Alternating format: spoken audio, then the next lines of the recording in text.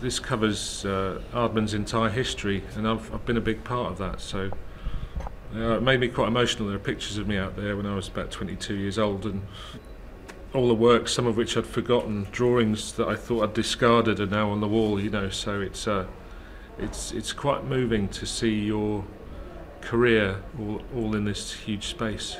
I think traditionally Aardman have never um, aimed at anybody other than, other than themselves, like trying to make themselves laugh. laugh. From the early days of doing a character called Morph, we always um, tried to make each other laugh with the story ideas and, and the slapstick humour. I, I don't think we have got any choice actually.